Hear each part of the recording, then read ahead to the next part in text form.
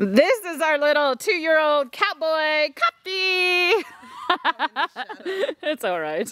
He is a beautiful two-year-old chocolate purebred lab. Obviously gorgeous, well-bred. What an awesome dog. And he was discovered in the shelter this morning. He's been there for a long time.